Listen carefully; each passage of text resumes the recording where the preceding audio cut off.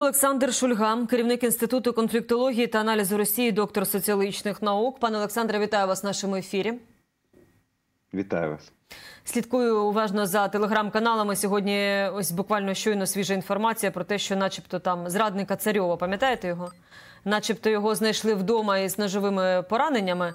Але це все повідомляють телеграм-канали, неофіційна інформація, начебто швидкі біля будинку. Так, оце, мабуть, відео звідти. Е, поки що не, не, не зрозуміло, вірити цьому чи ні, але становиться стає цікаво, тому що е, враховуючи вчорашні. Вчорашні повідомлення знову ж таки в телеграм-каналах про те, що Путін помер. Як ви, до речі, оцінюєте ось такі заяви? Навіщо вони зроблені, ким вони зроблені і на що вони впливають? Ну насправді тут є більш глибока така е, складова. Е, якщо говорити про ну те, що на поверхні, це можуть бути і просто, ну як то кажуть, хайпувати самі е, адміністратори телеграм-канала. Тобто він не без того доволі е, відомий, але це ну зливний бачок, скажімо так. Ну може захотілося підвищити кількість своїх підписників, підвищити вартість реклами. Може якась тестування настроїв. Е, всередині Росії е, відбувається з боку ФСБ. Е, може це підготовка до можливої реально смерті там незабаром чи колись щоб постійно закидувати казати, що ну вже скільки разів повідомляли про смерть Путіна, і кожного разу це була нісенітниця, тому і цього разу не треба на це ну фактично зважати.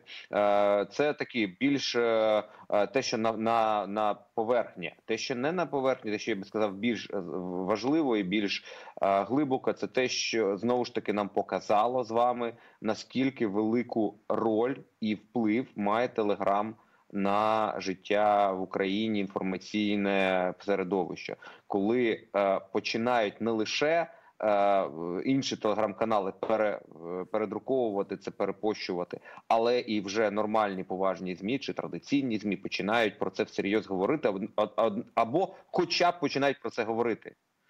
Е, тобто тут питання в тому, що потім та е, воно виясниться, що це не так, але як то кажуть, е, залишок буде все одно, і це дуже важливо, і це дуже небезпечно.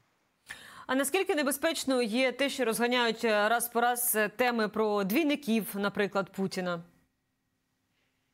Ну, це звісно ж, це і дуже красиво інформаційно, і дійсно воно ну розважальне доволі е, конспірологічно, наприклад, для тих же росіян, у яких дуже сильне конспірологічне мислення, це воно дуже їм заходить. До речі, 20, майже 20% росіян вірять, що е, Пригожин ще живий.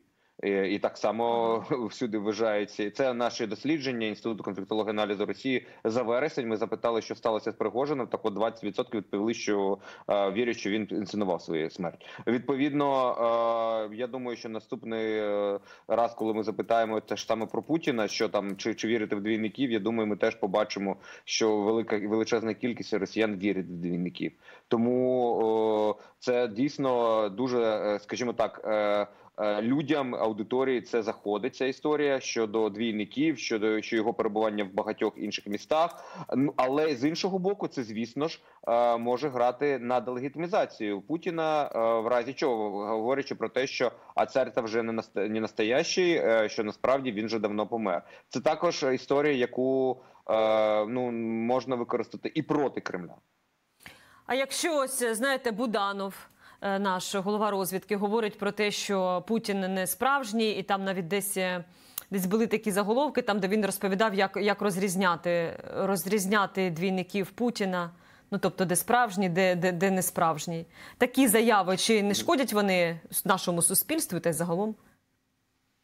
Е, ну насправді ви знаєте, я думаю, що що точно відбувається, що Путін вже сам свій двійник тому що Путін, е, не не зважаючи на те, що чи є в нього там фізичні двійники, чи немає. Е, Головне, що Путін е, зразка 23-го року це зовсім не Путін зразка навіть 21-го року, який виставляв ультиматуми НАТО, або 14-го року, коли захоплював Крим і розпочинав вторгнення на Донбас і часткову окупацію Донбасу. Тобто Путін, який тоді був людиною, яка розраховує свої кроки, такий міфологізований, зараз це плюгавий. е, Ну, старий дід, е, 70-річний і більше, якого вже самі називають дідом, який е, найголовніше, що може з ним най, най- найстрашніше, що з ним може статися, а він отримає е, вже відкритий імідж невдахи.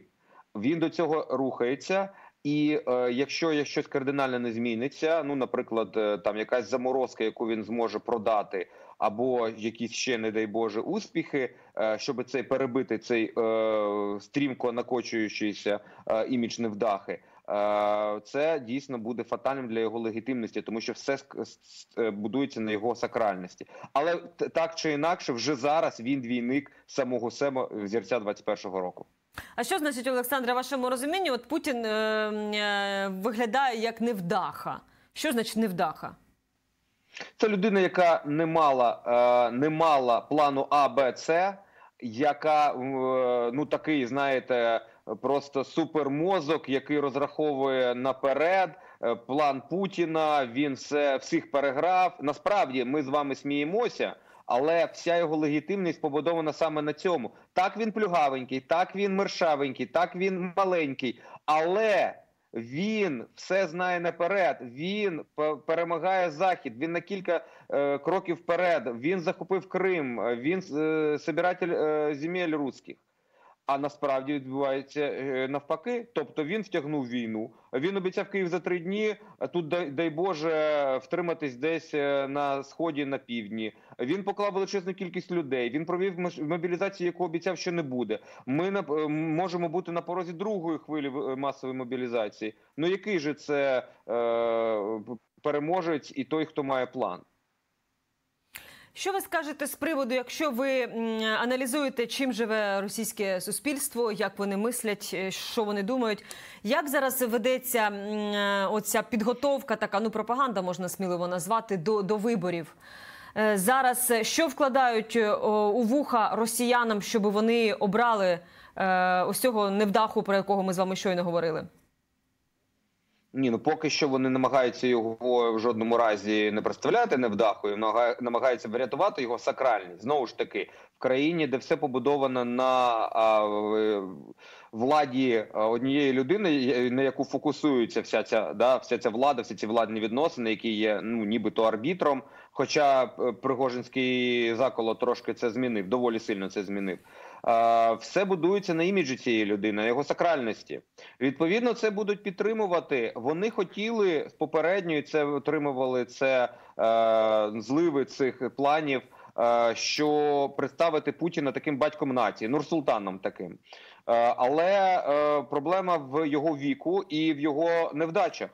Е, Відповідно, його вже починають називати дід, а це знов зовсім з сакральністю Путіна не в'яжеться. А хто це його називає? Відповідно- Е, Це росіяни говорять дід? Бо я знаю, що ми говоримо Ну, бункерний дід. Ну, ми з вами говоримо бункерний дід, але вони говорять просто дід. Дід. І це ми багато чули просто під час зливів е, цих розмов і бізнесменів, і навколо елітних, скажімо так, осіб. Так от, е, дід це е, вже перехід до е, номінальної легітимності, не сакральної легітимності. Це наш лідер, батько нації, який веде нас до перемоги. А це дід, який сидить. Ну да, ми поки його не можемо сковернути чи змінити, але це вже номінальна е, легітимність, ну як у Брежнєва того самого. Ну, який там, ви пам'ятаєте, е, вже всі ці проблеми зі здоров'ям і так далі. От до цього він рухається, і це його проблема величезна. Вона, звісно ж, пов'язана з